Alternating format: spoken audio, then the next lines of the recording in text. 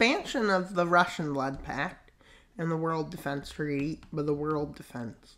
This is the what did I call it? And Ethiopia started having some problem with it getting a big a bit tense when this kind of happens when when a Somali rebellion happens. And it doesn't seem that bad, you may think, but it's just going to get worse from here. With Tigray forces rising up. And the idea is, no, why not? And then Djibouti rises up to form a nation. Because why not? And so on. Now Ethiopia is in a civil war. With a pro Somali creating group wanting Somaliland to be formed. Rise up because they have nothing else to do. And as you can see, Ethiopia is just falling apart into a mess kind of situation.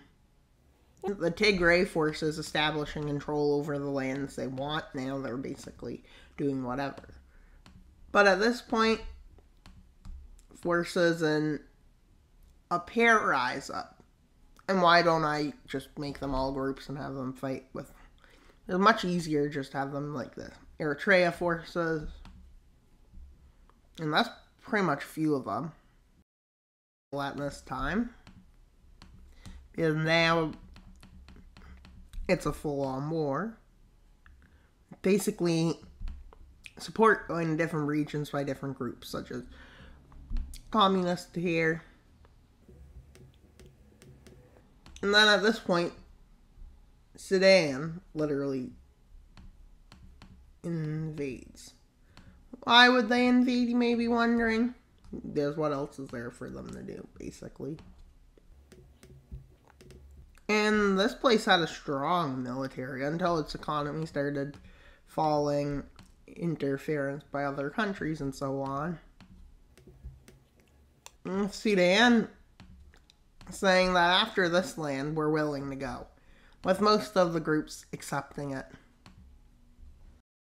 Complete turmoil.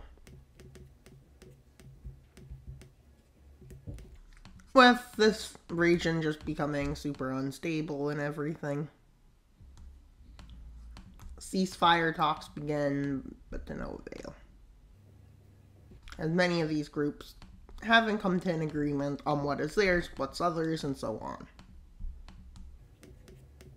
Djibouti has said, whatever I occupy is mine, so Ray agrees with them. At this point, as you can tell, kinda fell apart. The central government surrendering specifically to the Somali forces, because why not? These forces basically coming to an agreement on what is theirs.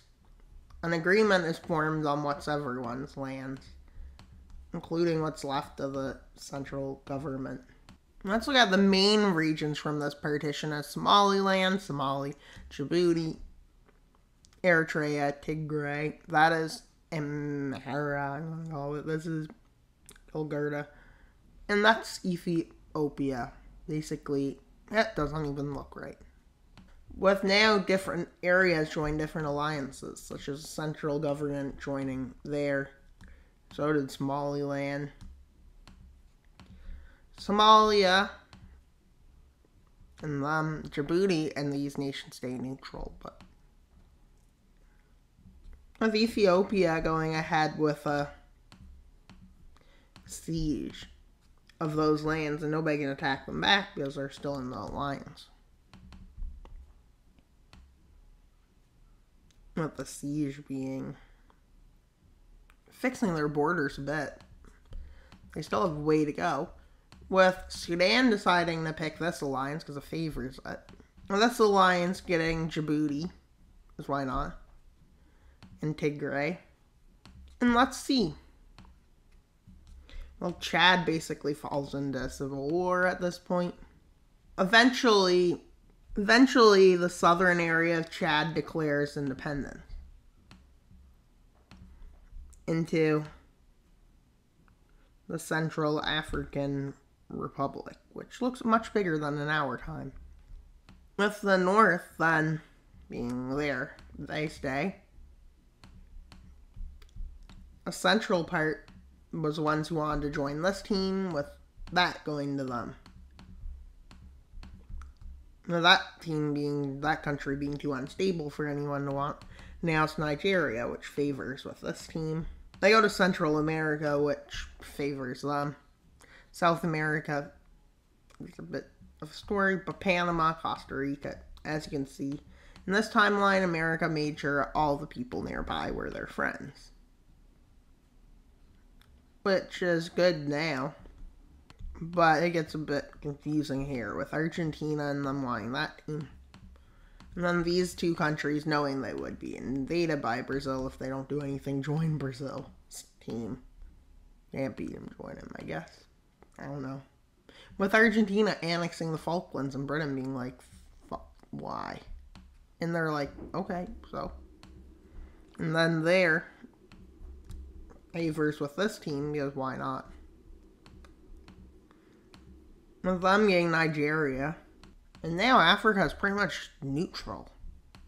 With them joining one team.